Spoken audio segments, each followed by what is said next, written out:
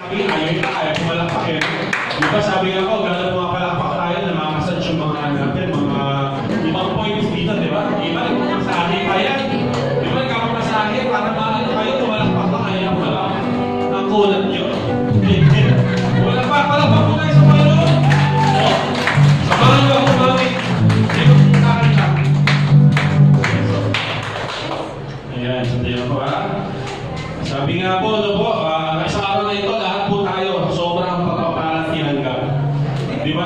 po tayo ng pagkapala. Sabi nga po, yung isang araw na to na magkakasama po muli tayo dito, isa po malaking